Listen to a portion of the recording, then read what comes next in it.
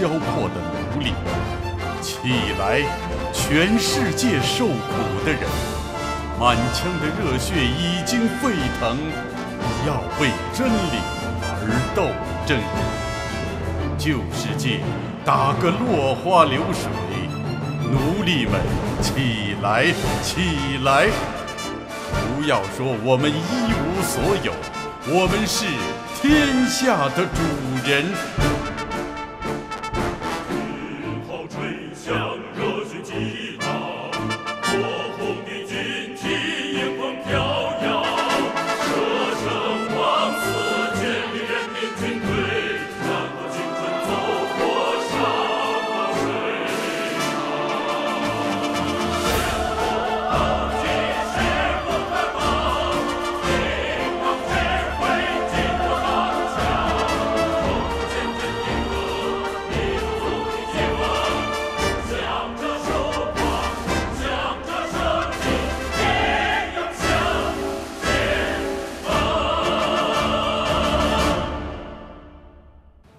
同志们，现在我们的部队，无论是从数量上，还是从装备上，都赶不上敌人。所以啊，我们必须要寻找敌人的弱点。只要我们抓住了敌人的弱点，那就要狠狠的打。等我们打胜利了，就把我们的力量分成几股，到敌人的后方去，和他们捉迷藏，让他们。根本找不到我们，只有这样，我们才能够一步一步的去消灭敌人，从而壮大我们的力量。同志们，政治思想和革命纪律是我们克敌制胜的保障。三大任务、三大纪律和六项注意，同志们要牢牢的记住。三大任务是什么呀？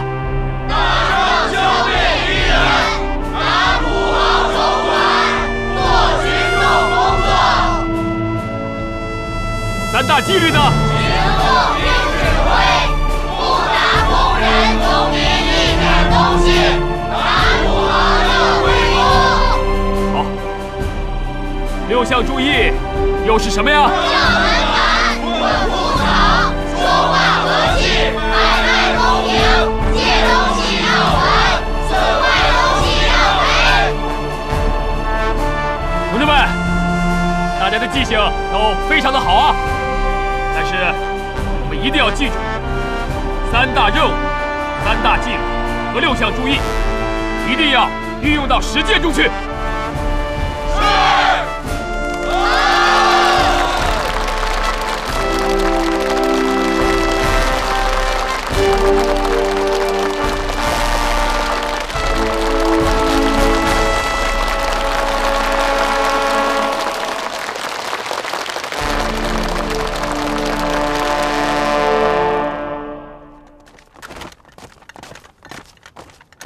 现在朱毛红军盘踞在井冈山一带，湘、赣两区的形势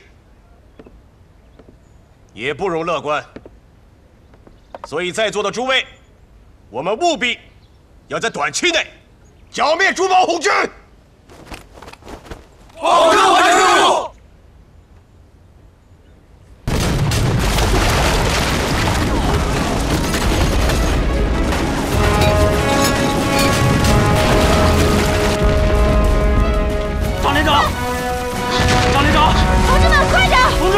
发起总攻！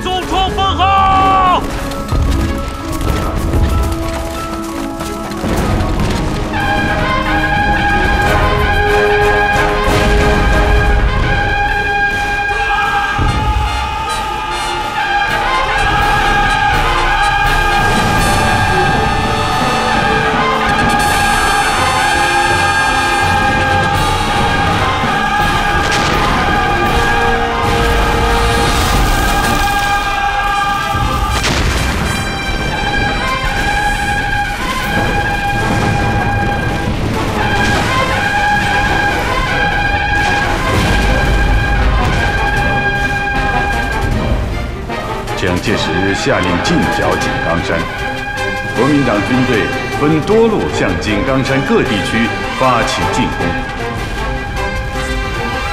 红四军在毛泽东、朱德的领导下，对敌人力量比较强大的湖南取守势，对敌人力量比较薄弱的江西取攻势，灵活运用游击战法，以不足四个团的兵力打退了数倍于我的敌军，粉碎了国民党反动派的四次进剿。井冈山根据地迅速扩大到宁冈、永新、莲花三县全境及古安、安福、遂川、陵县等各一部分。红色割据区域的面积达到七千二百多平方公里，五十万人口，开创了井冈山革命根据地的全盛时期。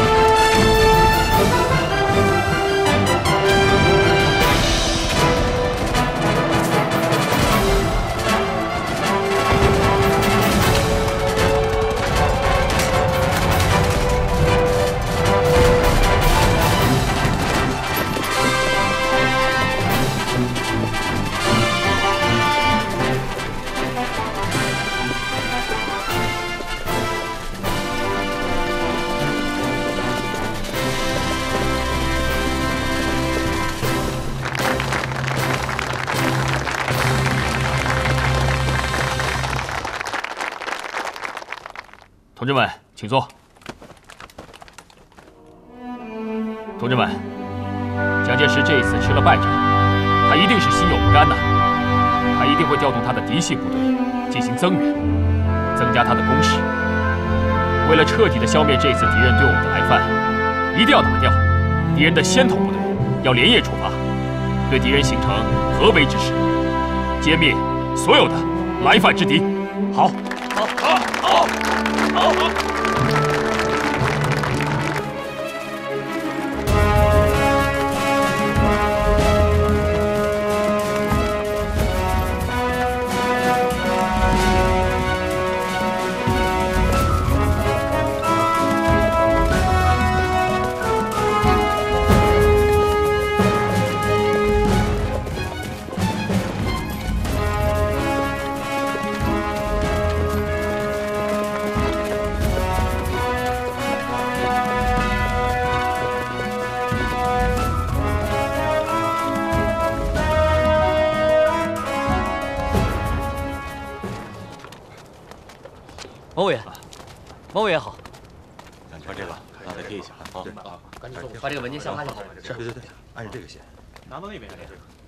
这个贴那儿啊。哎，看一下。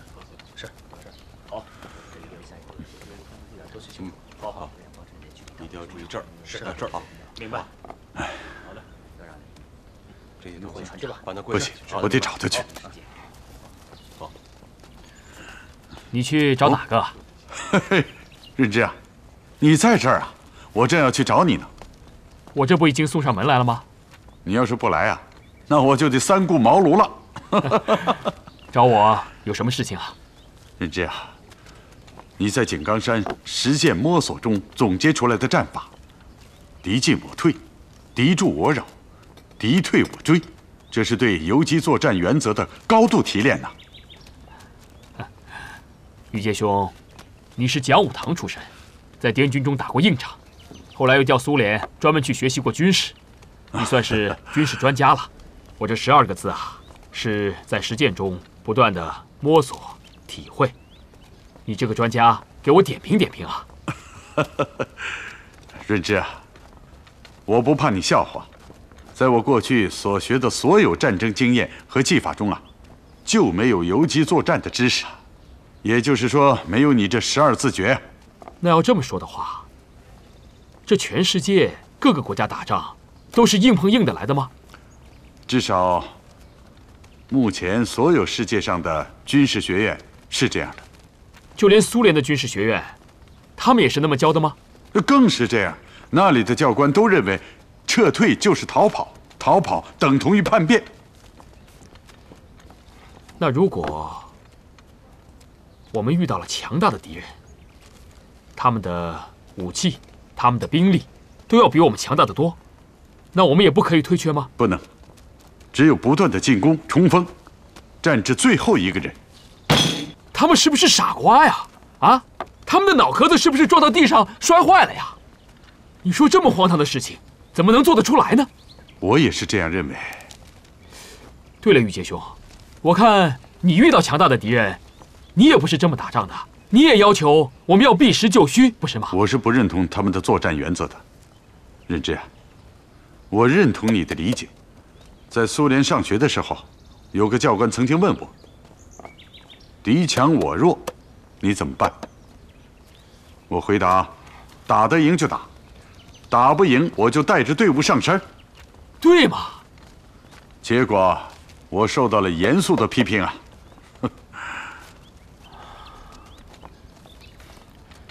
这下我搞明白了，怪不得共产国际老是要让我回中央，不断的在大城市里去暴动啊、暴动啊，去占领什么中心的城市。看来除了在政治经济上的原因之外，他们对于军事原则的理解啊，也是有很大关系的。哎，对了，于杰兄，我们聊了这么半天，你给我那十二个字诀点评点评吧。润之啊，你这十二字诀，字字珠玑，几真完美啊！若是再加四个字，把十二字诀变成十六字诀，或许是炉火纯青啊！请讲啊！敌疲我打，至于敌驻我扰之后，敌退我追之前，你看怎么样？好啊，那就是。敌进我退，敌驻我扰，敌疲我打，敌退我追。于杰兄啊，你这四个字可抵得上四万两黄金啊！我看这十六个字诀啊，以后就是我们战胜敌人的制胜法宝。嗯，同志们说是不是啊？是是，对对。敌进我退，敌驻我扰，敌疲我打，敌退我追。好，好，好。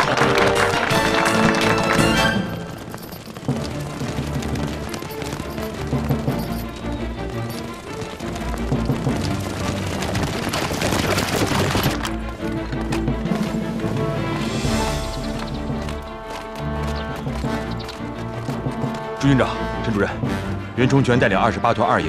在探路的过程中叛变投敌了。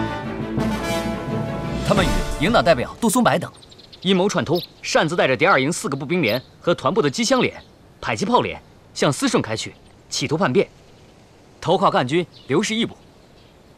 有什么根据吗？有，这是袁崇全写给您和陈主任的信，说不杀了朱德和陈毅就不回来了。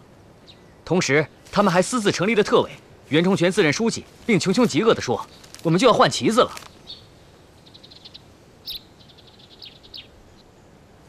真是人心难问呐！二营各连的情况怎么样？据我所知，有三个连的干部识破了袁崇全的阴谋，连夜摆脱袁崇全，去追团主力了。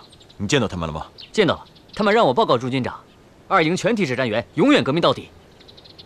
那其他被袁崇全裹挟的部队呢？机枪连和迫击炮连摸不清事实，其他的都跟袁崇全走了。嗯，是。军长，您怎么看？按常理，我会派林彪率二十八团第一营先去围歼，但是这双方伤亡的可都是我们红军的主力，我下不了这个决心。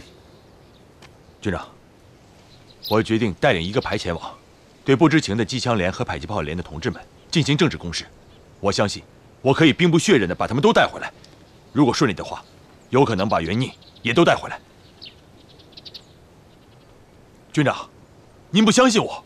不，我是担心你的安全。是二卓，太危险了。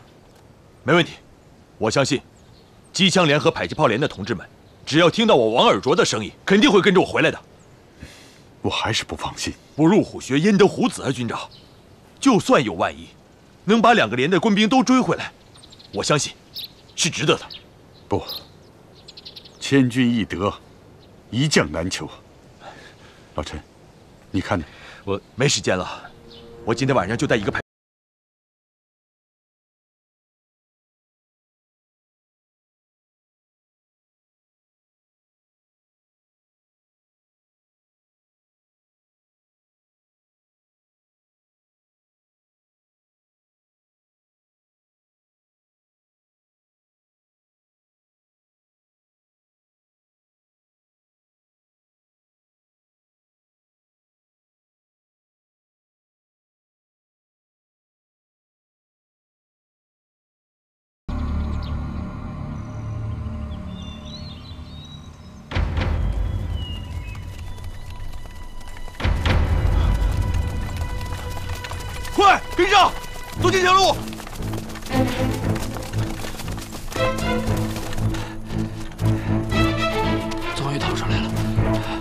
面点就到了。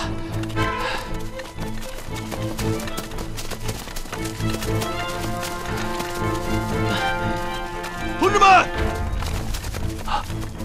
王参谋长，王参谋长，王参谋长，李伟，你们怎么样？我们发现上当受骗之后，就偷跑回来归队了。回来就好。袁崇全在做什么？他们正在密谋着叛变投敌呢。即将联合迫击炮连的同志们知道吗？他们不知道。他们要是知道叛变投敌的内情之后，就一定会像我们一样偷跑回来的。那你为什么不告诉他们？我们不敢说呀。谁要敢说一个不字，他就当场枪毙。你们，你们这是？我去接受蒙蔽的同志们。孟参谋长，你们不能去啊！没关系，我相信大部分的同志们还是愿意跟我们回来的。可那袁崇全，他是一个心狠手辣的家伙呀！不怕。袁崇全具体到什么位置了？他们连夜从新义围干到了思顺围，计划在这边歇脚、吃饭，然后直接逃往遂川。好，感谢你提供的准确消息。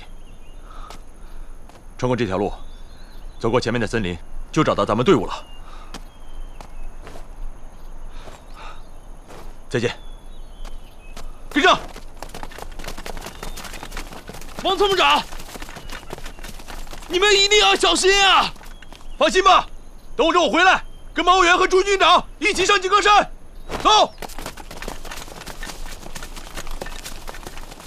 我们走，快！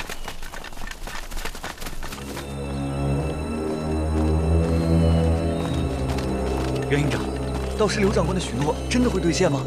绝无问题。带去一个连，奖励袁大头三千；带去两个连，你我二人都可以升为国军副团级的军官。真的？放心吧。好。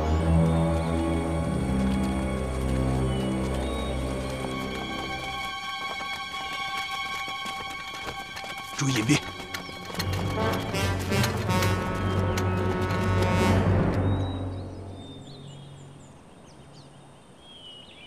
我先过去，你们在这待命，不到万不得已，千万不能开枪，明白吗？明白。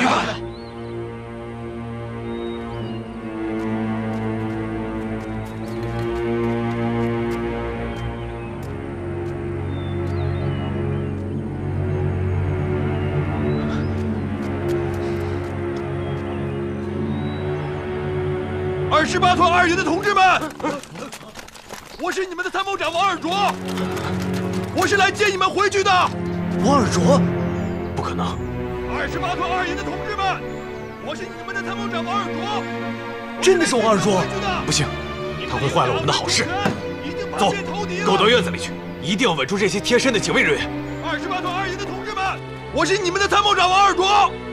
王参谋长，真的是王参谋长，是吗？是吗？真的呀！二十八团二营的同志们，是啊，参谋长，是王参谋长，我是你们的参谋长王二卓。你们的营长袁崇全已经叛变投敌了，不要跟着他去遂川，投奔干爹刘世义。是真的吗？是真的吗？营长，营长，是真的吗？是真的吗？同志们，别听他的话，他是冒充的，赶紧进屋准备战斗。走走。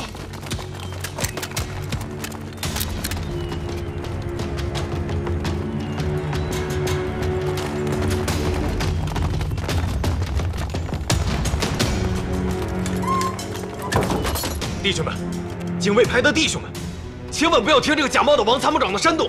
我们现在已经被敌人包围了，你们可都要听我指挥啊！这怎么办？这怎么办？包围了！好，这样，敌人现在还不知道我们屋里的情况，你们先守住大门，看好通向外面的通道，把住每一个窗口和枪眼。他们只要敢过来，看见一个打死一个，听明白了吗？明白，明白。接动！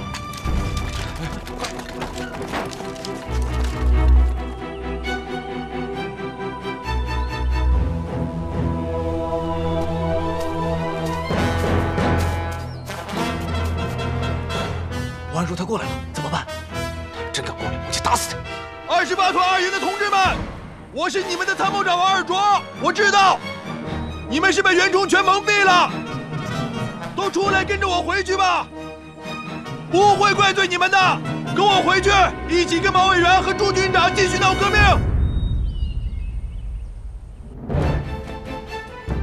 我出来了，不会带武器的。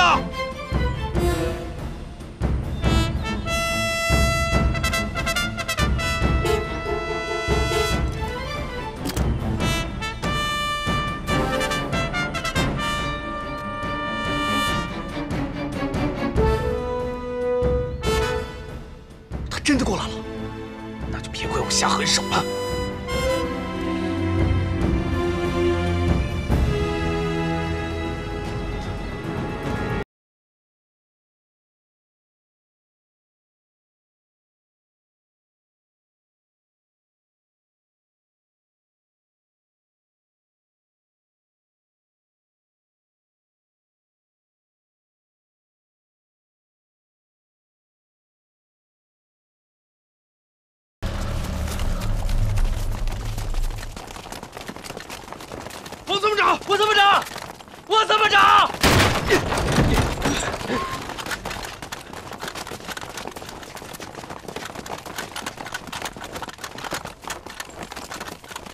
没人，他们跑了，追，快点追！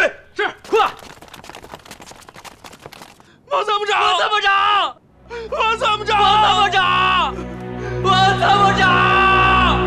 王二卓不顾个人安危，仅带一个排，追赶被袁崇全蒙蔽的炮兵连及第五连少数叛逃官兵，在劝说士兵重新回到革命队伍时，被袁崇全开枪射杀。王尔卓牺牲时年仅二十五岁，他的牺牲是我军的重大损失，全军皆悲。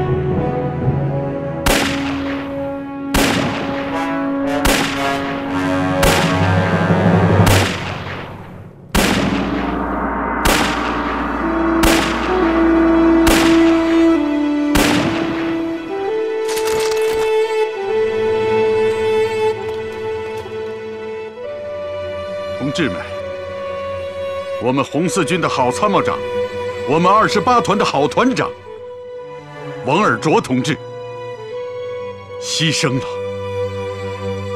我们一定要严惩叛徒，为王尔琢同志报仇！严惩叛徒，为王尔琢同志报仇！同志们，尔卓同志牺牲了。经前委书记毛泽东同志提议，等我们的部队回到宁冈龙市，再给尔卓同志举行追悼会。泽东同志给尔卓同志亲自写了挽联：一哭尔卓，二哭尔卓，尔卓今已矣，留却重任谁承受？生为阶级，死为阶级，阶级后如何？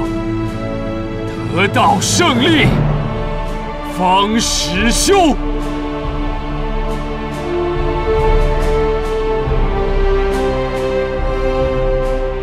同志们，刚才毛委员在挽联中问道：“尔卓今已矣，留却重任谁承受？”我们，我们，我们。毛委员在挽联中要求同志们：“得到胜利方始休。”你们能做到吗？能！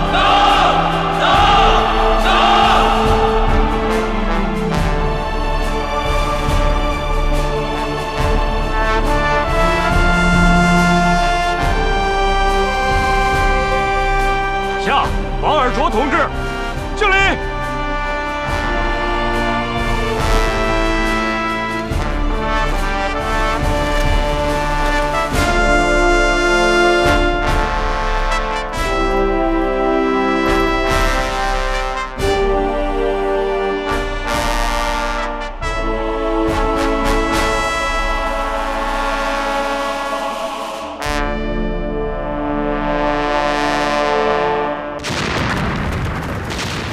一九二八年十二月十一日，彭德怀等率领平江起义后组成的红五军七百多人到达井冈山，与红四军会师。这两支红军的会师，进一步增强了井冈山地区工农武装的力量。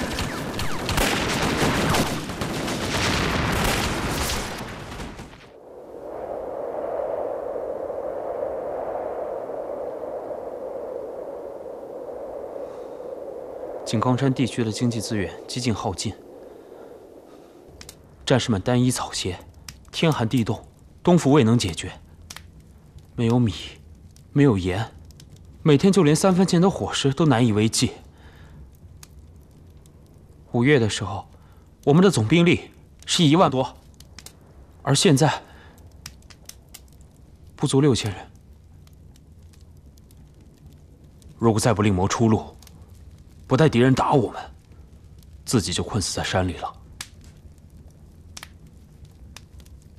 既然碰到如此的困境，我建议部队赶紧向紧邻福建的赣南地区进行转移啊！赣南那个地方虽然地理位置比较偏僻，但是人口密集，遍布森林，气候也比较温和，关键是远离国民党控制的中心地区。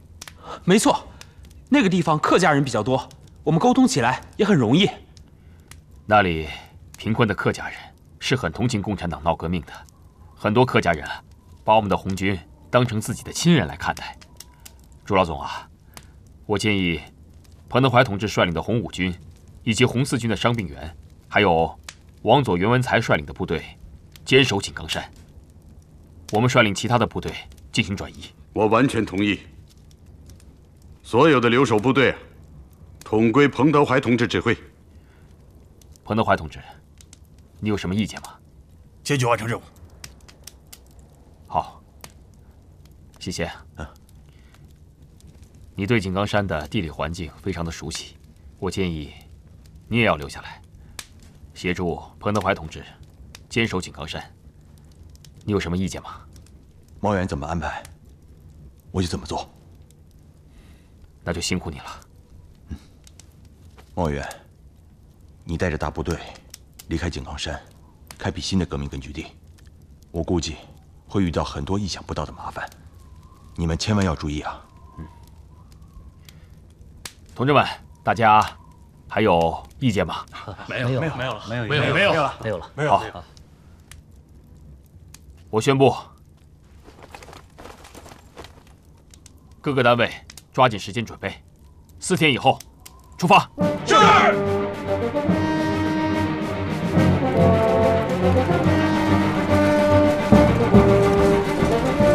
一九二九年三月，由毛泽东、朱德率领的红四军主力，在当地客家人帮助下攻打长汀，红军以排山倒海之势，一举攻下县城。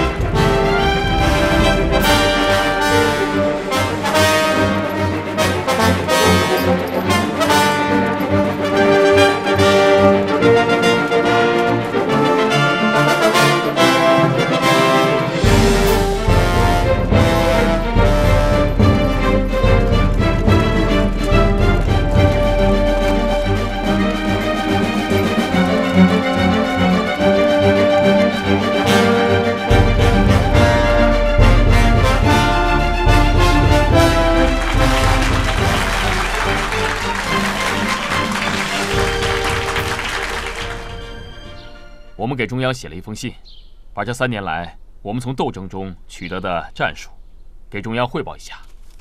现在，我就把这封信给大家念一下，大家有什么意见，尽管提出来啊。我们三年来从斗争中所总结出来的战术，真是与古今中外所有的战术都是不同的。用我们的战术，群众斗争的发展是一天一天扩大的，任何强大的敌人是奈何我们不得的。我们用的战术啊，就是游击战术。好好好好好好好，好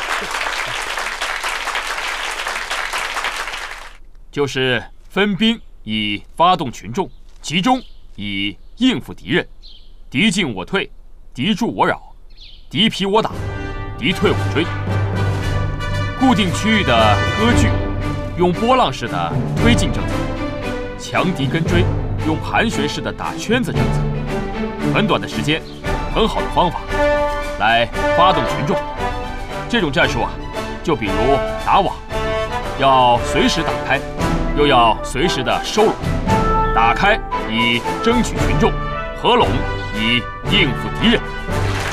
好，好，好，好，好，好，好。大家有什么意见，都可以提一提啊。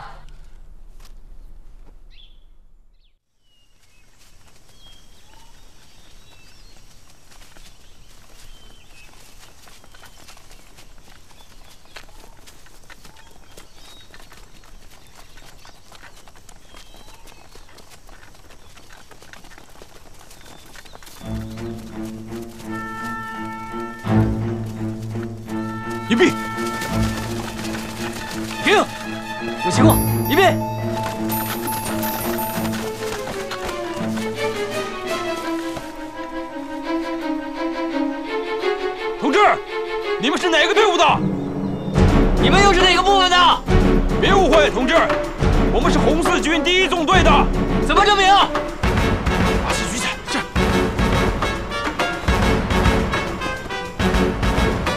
真的是红四军。我们是红五军先遣队的。打旗。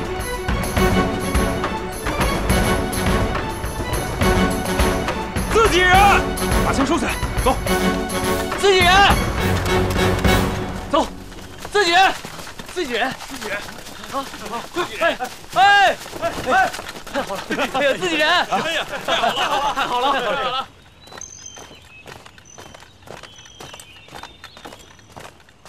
彭军长，彭军长，毛书记来了。老彭啊，老彭，我来看你了。毛书记，真是辛苦你们了。井冈山，没给你守住啊。我是在吉安看到你们张贴的标语，我才知道井冈山失守的。你真的是太危险了，是我部署不当。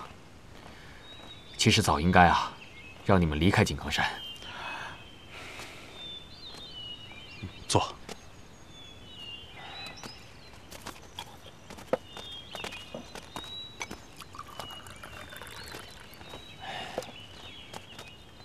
我们现在啊，也不要太伤心了。现在赣南的局面已经打开，红四军即将进入闽西，开辟新的根据地呀。我想问问你，有什么想法吗？大部分敌军已经从井冈山周围撤走，我想回去，把井冈山夺回来。好啊，这样的话就可以完成当时我们分兵的战略意图了。同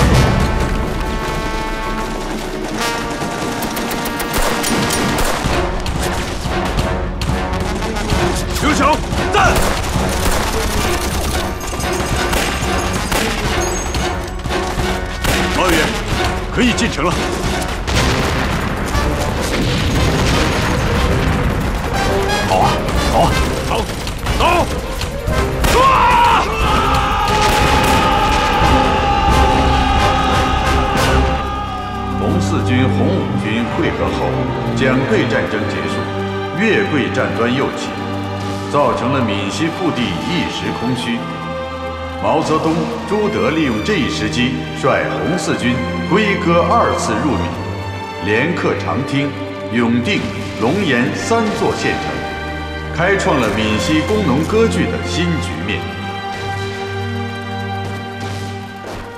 就在此时，中央派遣一批干部到红四军工作，其中刚从苏联学习回来的刘安恭的到来，在红四军上下掀起了一股巨大的政治波澜。这股波澜不仅使红四军基层官兵的思想发生混乱，甚至在毛泽东、朱德、陈毅等主要领导干部的心理上也引起极大震动。一个关于党到底要怎样领导军队的重大问题，摆在了红四军的面前。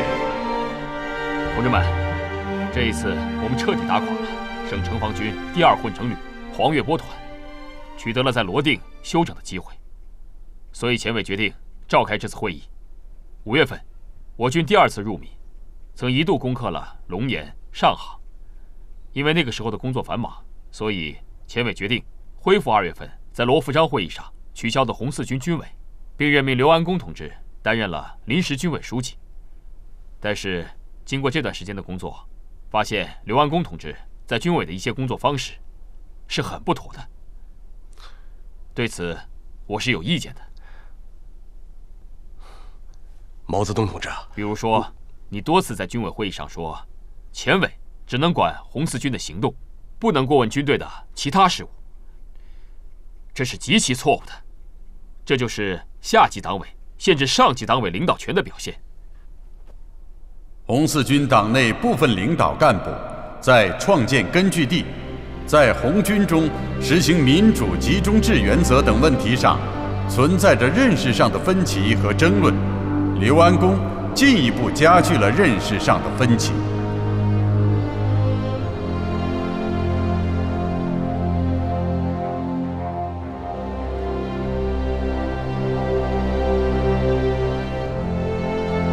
同志们我们应该本着对党、对人民忠诚的态度来对待自己的工作，而不是耽于权力之争、职务之争，严重的妨害了我们红四军的纪律和红四军的团结，妨碍了部队的正常工作。这样，同志们，经过全体到场的同志选出了十三位前委委员，再由这十三位前委委员，我们来选出前委书记、书记员。到，你念下票。是。经十三位前委委员选出前委书记候选人：毛泽东四票，陈毅五票，朱德三票，刘安恭一票。经投票选举，票数得出，陈毅当选前委书记。啊？陈毅当选红四军党的第七次代表大会，在没有得到中央指示的情况下，改选了前委。中央指定的前委书记毛泽东没有继续当选，改由陈毅担任。这次大会没有正确解决红四军存在的主要问题。同志们，为新当选的前委书记陈毅同志鼓掌！好，好，好好好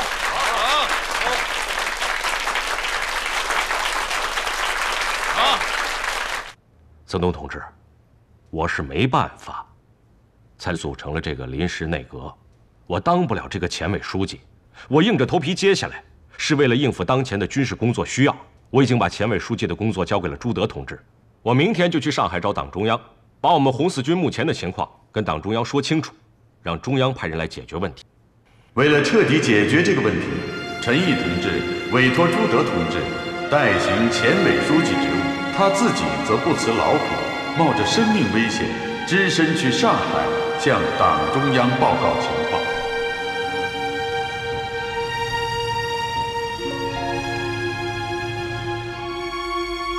来来来陈毅同志请坐。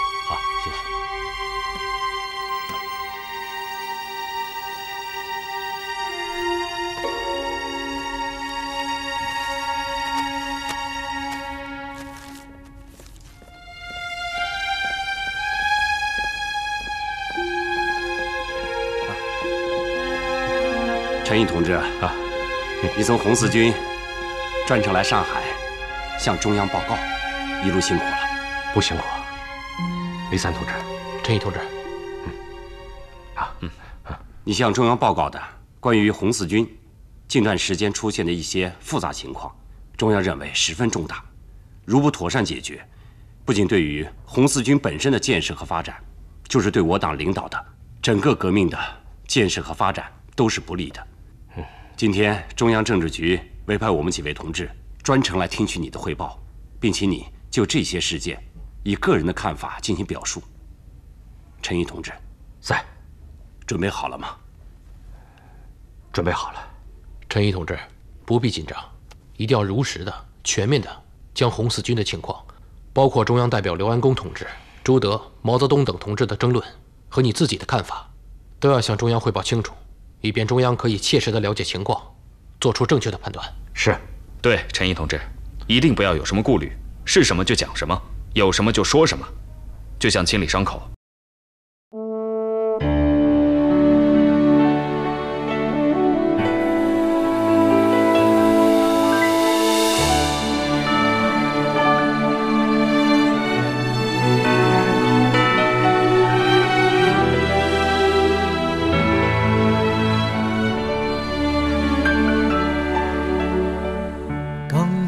在黎明中擦亮，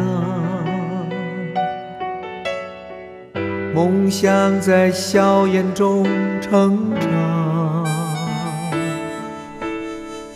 多少名字都化作星光，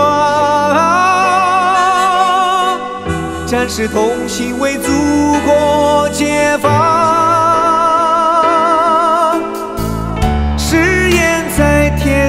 天回荡，青春在风雨里飞翔，生命在战场中热血挥洒，赤子戎装把家园